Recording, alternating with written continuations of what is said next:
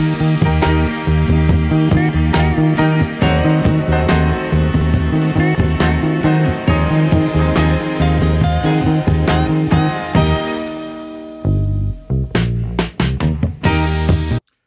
good morning, Saints. This is another Sunday message. I'll be bringing to you from the Abundant Life Bible Mission. Uh, I'd like to start off by opening up in a word of prayer. We're going to have just a few announcements, and then I'd like to get into the message for today. Let's bow our heads. Heavenly Father, we come to you in the name of Jesus for wisdom, grace, understanding, that you may speak to our hearts, especially to the church. Lord, not just to our church, but the church of Christ, the church of God, those who represent you in this world.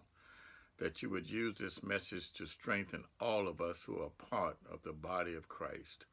And we thank you, Lord, for what you're going to do and how you're going to use the message. And then, Lord, that you would give all of us understanding, that they would all who are listening will consider what I say, but give us all understanding. For us in the name of Jesus, I pray. Amen. Well, I'd like to start off with giving the Lord thanks. I want to thank the Lord for the Father, for the Son, for the Holy Spirit, for the victory in Jesus, for being our great high priest, for the strength he gives us each day to live for him, for his keeping power, for his mercy, for his grace, for his forgiveness of sin, for his faithfulness, for his unconditional love, and for his faith to live by. I want to thank the Lord. Well, starting off today, uh, something we haven't been doing, I guess, since we, well, I know we haven't done it since we, we uh, haven't had service, is to get into memory verses. I'm going to assign a memory verse uh, for uh, next Sunday, and which will be the 14th, and that is First Peter chapter 4, verse 17. That's First Peter 4, 17. Will be the memory verse.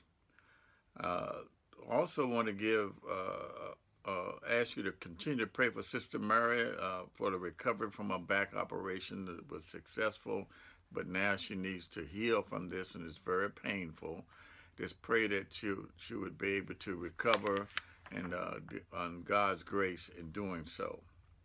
Now, I'm going to make this announcement, but it's, it's for another short video that will be on YouTube for the ALBM Saints.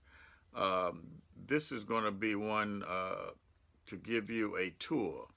We're going to uh, have our brother Sam is going to give you a tour of our new Breaking of Bread room to show you the aspects of that. I only shown it to one or two people, but I'm going to let all the saints get a chance to see it. And we want to thank the Lord for how He used Brother Sam to to uh, uh, to work on this this this project to get it done. And thank the Lord again for what He's done, the strength that He gave him, and continue to pray for his health and strength too, uh, as he continues to work for the Lord. Well, that's it for right now, but now let's get into the message for today. It's a message uh, because as we look at what's happening in today on the television,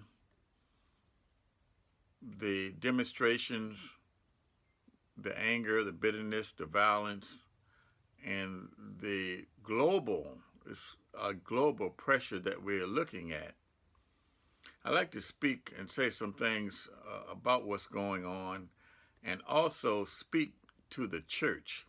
When I say church, not just the ALBM, but to the body of Christ the body of Christ has some parts of it that is really not functioning, not conducting itself the way it should. Now, I'm not saying that everyone isn't. Uh, many, many of the saints and, and believers and churches are doing what they have to do and doing what they should be doing. But I'm very concerned that the Lord has shown me that the reason why we have these things and what's going on is how we really haven't been looking at Jesus. We haven't seen Christ. And he's made mention of this in Matthew chapter 25, verses 40 through 45. here we see Jesus talking about how we deal with things around us in the world. And really, what he's saying is, I am in this world, I am around you, and the things that uh, that you have, we come face to face with. How we treat this world is how we treat Him. How we treat in others in this world is how we treat Christ, and not only how we do to others, but how we can uh, ignore or not deal with the need that is in this world. He says, well, if you can ignore that, then you're ignoring me. He says, he talks about this expressly in Matthew chapter 25. And I just want to read these verses and then go back and look at, uh, talk about it.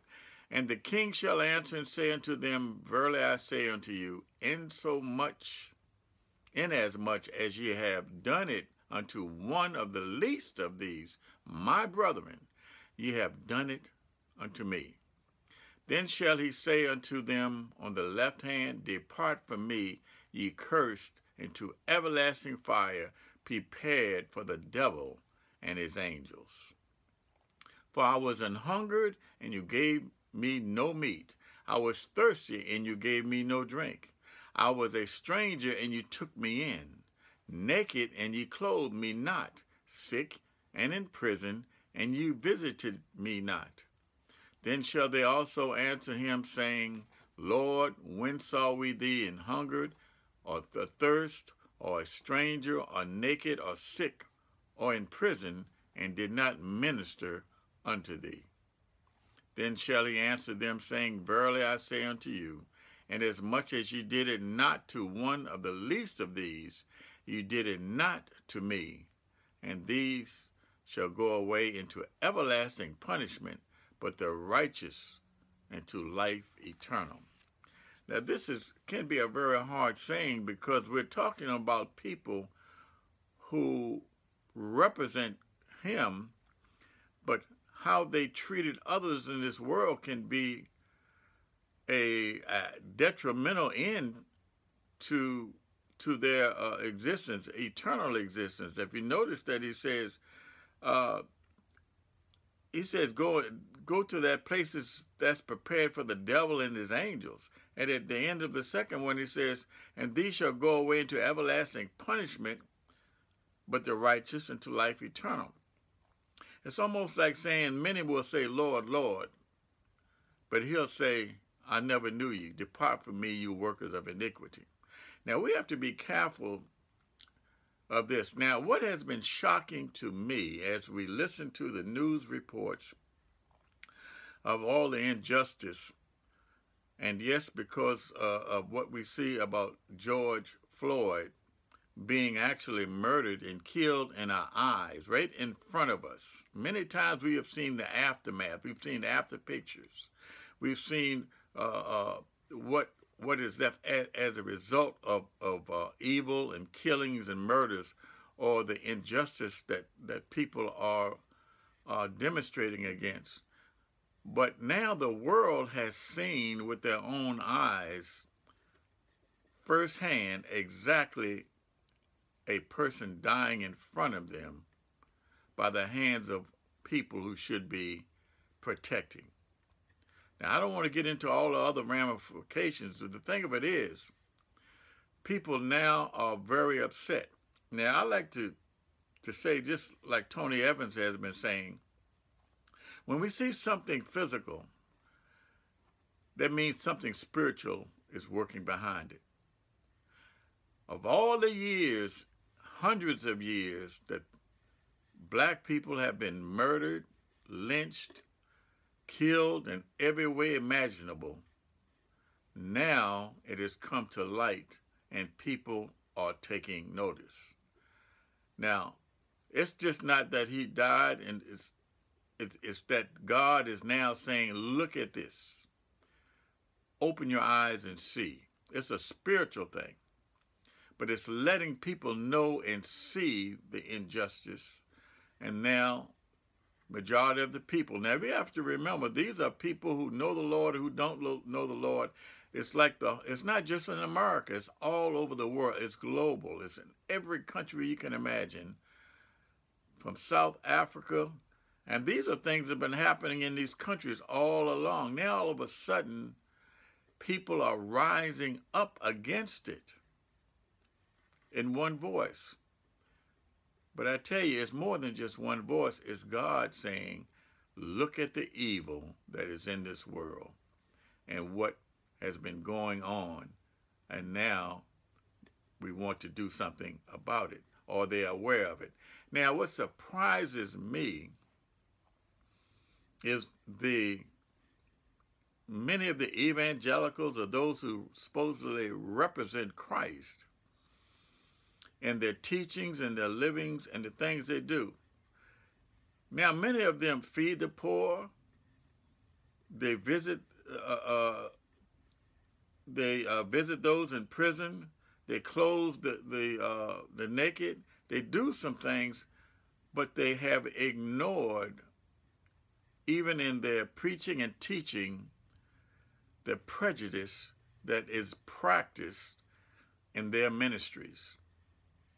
If you if you know just about anyone who going to be honest, especially the ones who really see it have been noticing it all the time, usually are people of color.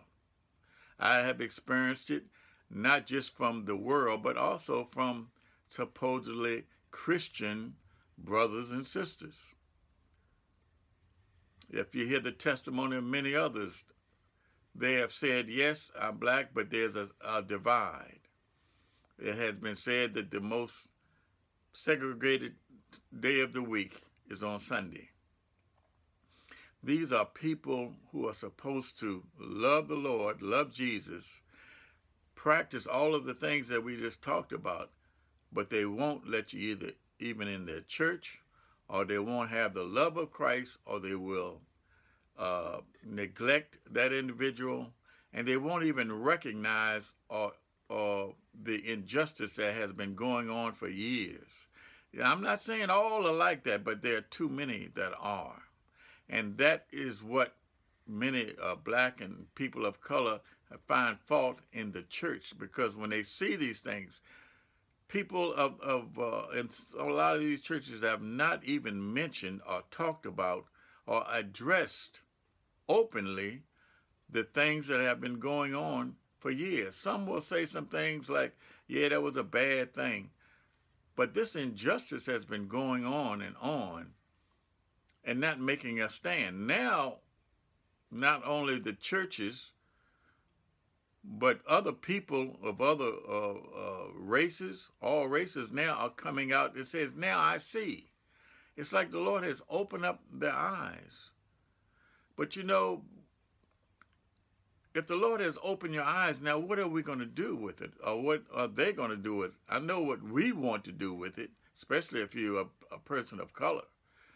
We want it not to die down like so many other times, so many other killings and murders of people, not only in the United States. Look at the voice of the martyrs. We look at the killings and murders of Christians. Many churches only want to acknowledge that there are killings of Christians, yes, but they're killings of this people of other colors. They're killing of people because of uh, their religious beliefs. Even killing another person because of their Islamic doesn't make it right. If if they're Hindu doesn't make it right. These things are all wrong. How we treat these people is how we treat Christ. How we ignore these things is how we ignore the things of Christ how we put these other things in this world before the things that we can do for others in this world, the poor that are always with us. He says he always had the poor. But he says, as much as you do it to the least of these, you're doing it unto me. The thing of it is, is that too many churches have been neglecting that part of Christ in their lives. Now we're seeing people are starting to apologize. We're seeing commentators that said they never looked at it this way.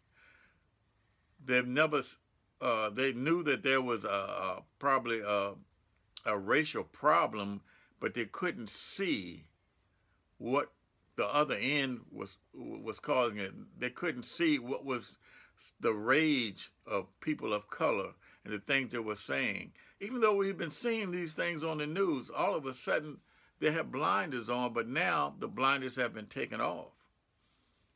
And now they're looking for justice. Well, don't get me wrong, there's nothing wrong with that. But our church and us as individuals need to also seek justice and make sure that we are not getting caught up in the wrong response. We're going to talk about that a little later. But one of the things is is how we treat others in this world as a body of believers. Now, this is I'm saying this because this is how we need to pray for our brothers and sisters. Some are, are I could yeah, just going to tell the truth. They're fronting. They're really not our brothers and sisters because they have that racial prejudice that is so strong that they can ignore or put you down. I never forget going to the uh, Word of Word of Life uh, uh, camp in in Schroon Lake, New York, and I was there uh, to get close to the Lord, and there were people from all over the place, but I saw a table that was a group of believers from Virginia, the Richmond, Virginia area. So I said, wow, these are some other believers.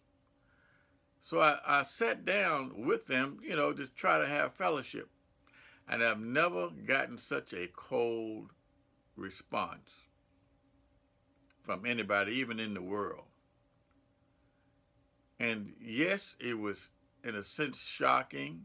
I guess we, we, uh, being a person of color, we know that there are things, uh, people like that, but I wouldn't think that they, being that they represented a radio broadcast that was coming from uh, our area, but they were very cold, showed no love.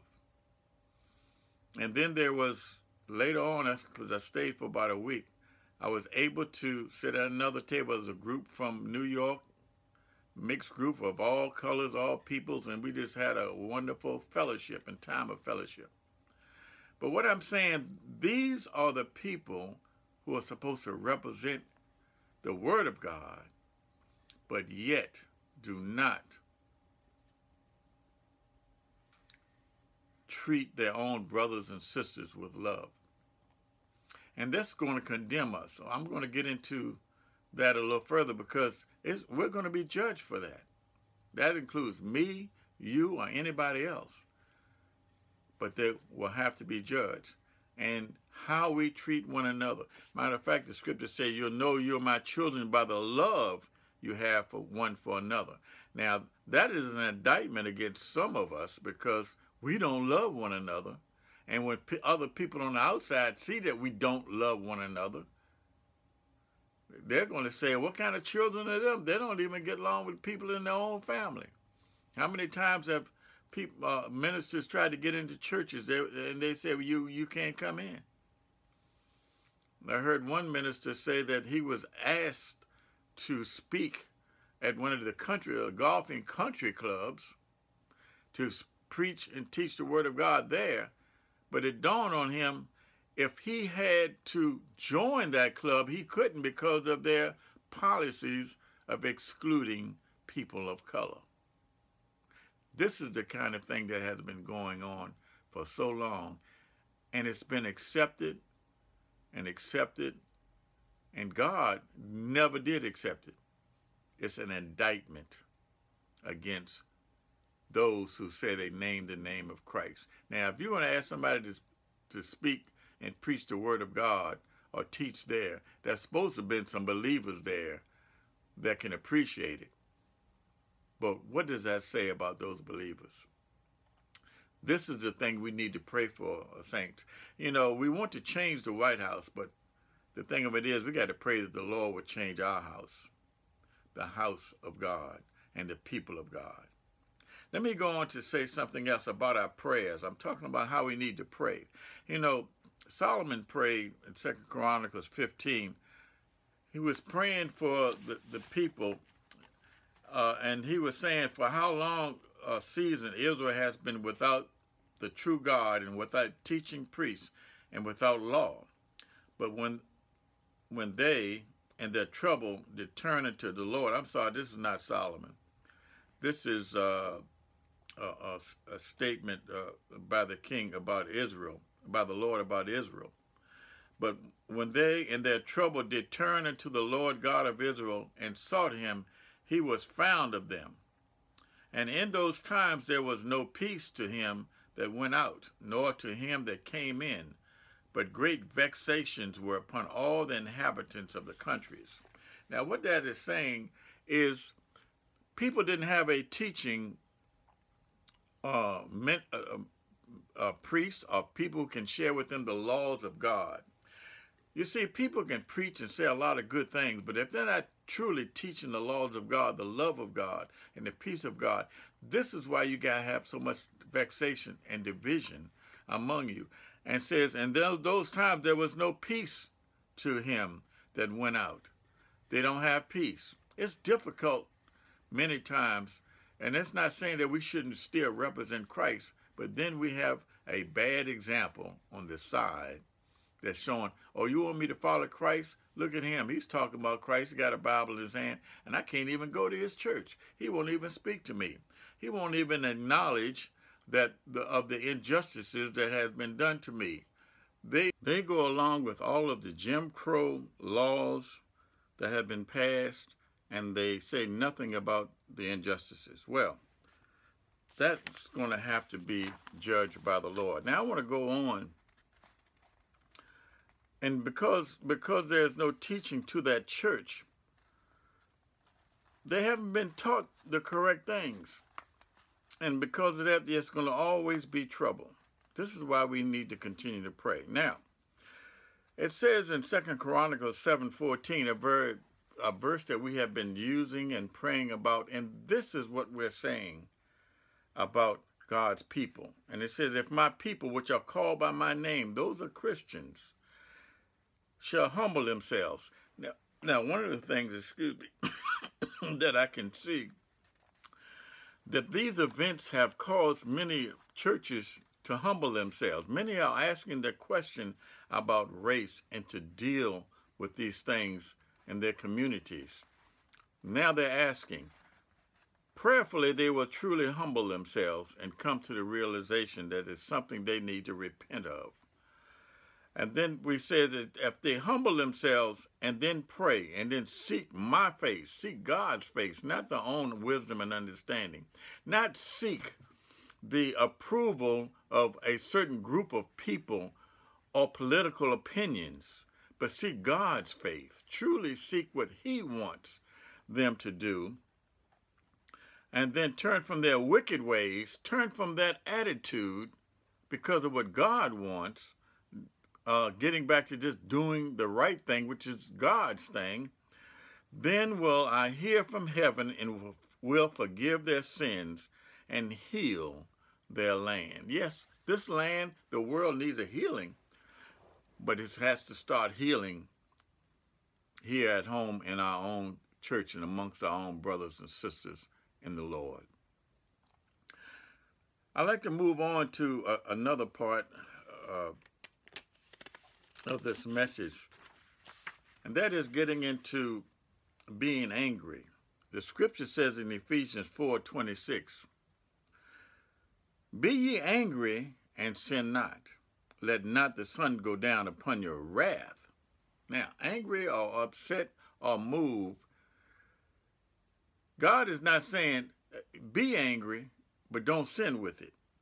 Don't let it turn to bitterness and wrath and outrage when you're angry. Yes, these things have been said and done for years. Many people can't watch anything that deals with racial problems or racial issues and and the treatment that they've received or, or, or, history of these things because they say it makes just upsets me so much.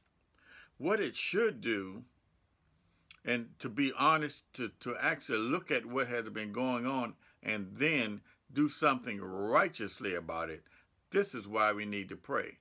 These are the things that we need to share with those that are around us to give them comfort and hope. This is what Christ died for. He says, when they did people like that, they were doing it to me. When they enslaved people, they enslaved me. When they beat and whipped and hung and lynched and burned uh, the homes of people, they were doing it unto me. And that's something that they're going to have to, to, to understand. But he says, don't get so bent out of shape that you raise Cain, you start fussing and cussing. And then like some so many people today, they want to burn down something, throw bricks and rocks.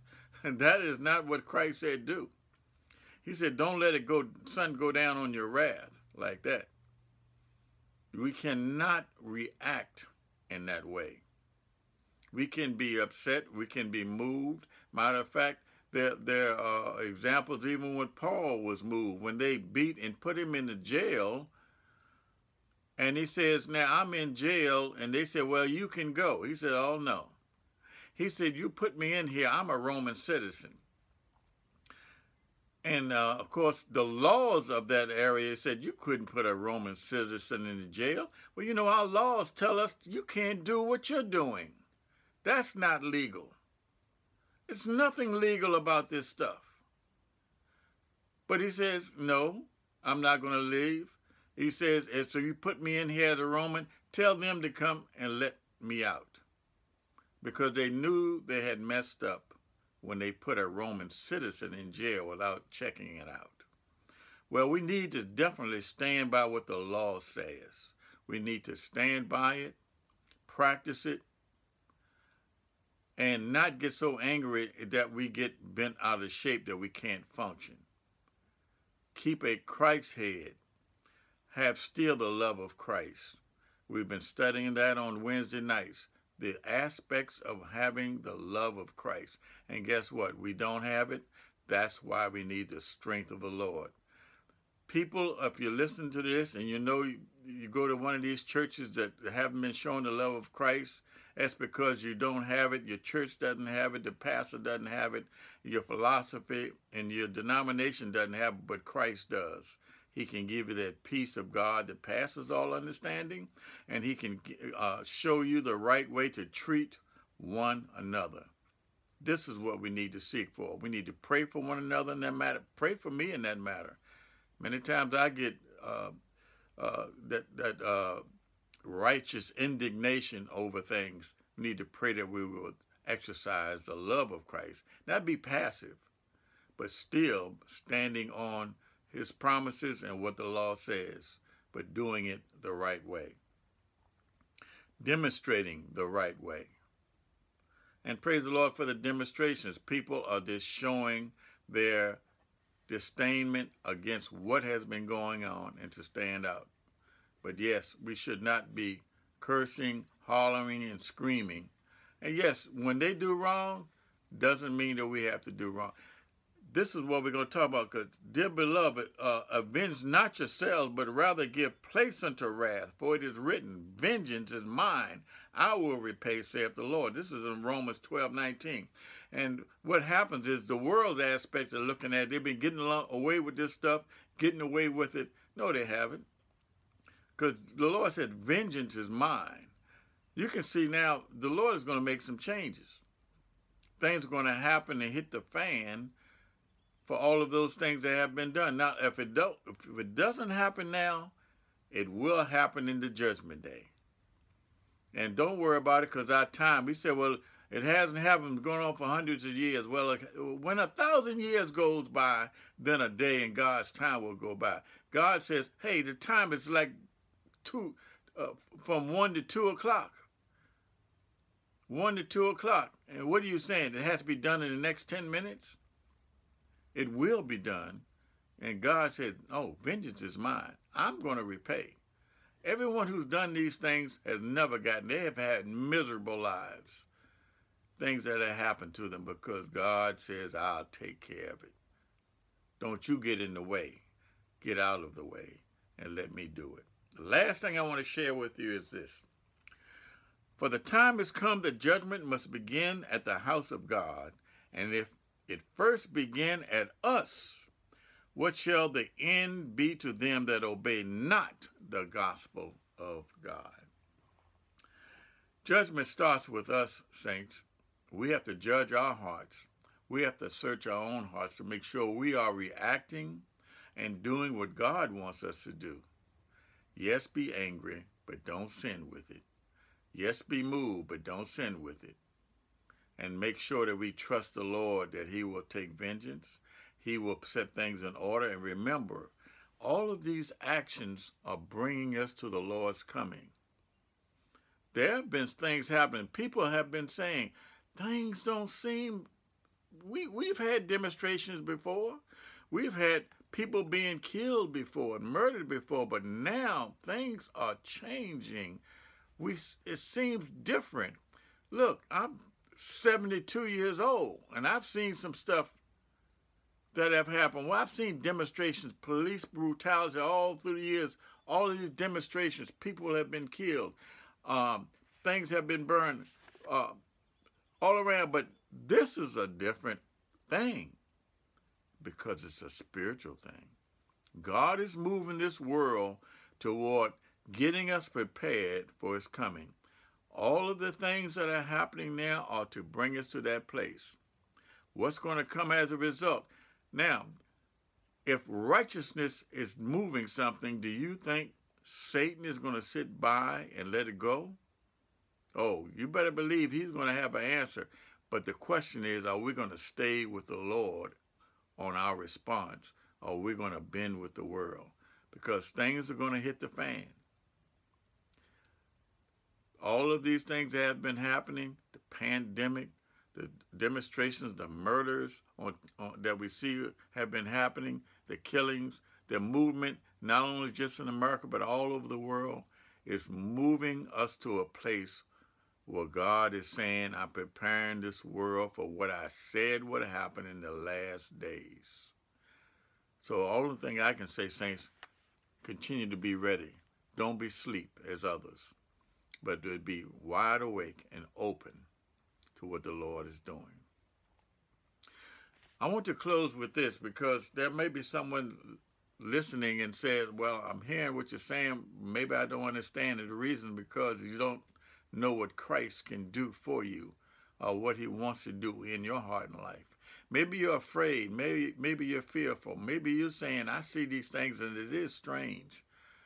Well, there's nothing strange about the salvation of Christ. This is why he came, so he can deliver you from the judgment that, that is coming. He can deliver you and give you eternal life. And if you want that eternal life, I need you to pray this prayer with me. Dear God, I'm a sinner and I'm sorry for my sins.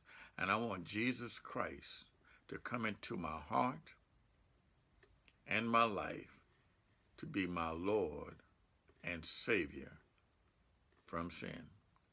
Come into my heart, Lord Jesus, and born me into your family and help me to live my life from this day forth by your power and your might. In Jesus' name I pray. Amen. And for those who know the Lord, dear Father, we do pray that, Lord, you will strengthen us as the body of believers to conduct ourselves according to your will. To, Lord, treat others to have the love of Christ, not the hatred and the animosity that is, is uh, uh, going on, that we will respond according to your will. Help us not to lean on our own understanding. Help us not to be conformed to this world. Help us to be knowledgeable and use the wisdom of God and all that we have to say and do. For us in the name of Jesus, I pray. Amen. Be blessed, saints, and remember what Jesus said I am come that they might have life and that they might have it more abundantly.